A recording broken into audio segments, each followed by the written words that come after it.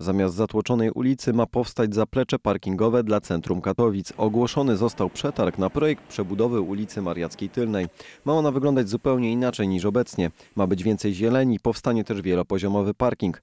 Wjazd na niego będzie możliwy dzięki specjalnej platformie.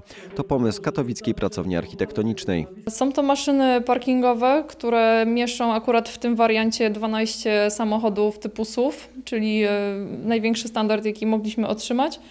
Mm, Jest to maszyna mająca 15 metrów wysokości i pozwalająca w dosyć bezkolizyjny sposób zaparkować samochód bez stracenia e, czasu na, na szukanie miejsc parkingowych. Koncepcja architektów już w zeszłym roku zyskała uznanie miasta. Teraz na jej podstawie powstanie projekt.